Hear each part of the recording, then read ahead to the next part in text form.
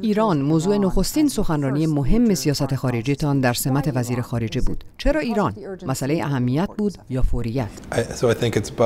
من فکر می کنم که هر دو رئیس جمهوری این را یک تهدید جدی برای ثبات خاورمیانه و برای امنیت ملی آمریکا می‌دید.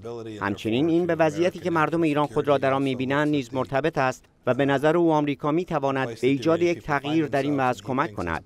به نظر او توافقی که دولت قبلی با ایران انجام داده بود در خدمت هیچ کدام از آن منافع یعنی مردم ایران ثبات خاورمیانه و منافع مردم آمریکا نبود. پس این موضوع برای او در اولویت بود و من می‌خواستم در نخستین هفته کار خود به عنوان وزیر خارجه دیدگاه پرزیدنت ترامپ را درباره اینکه ما چگونه می توانیم در رابطه با سه مورد فوق این وضعیت را بهتر کنیم نشان دهم.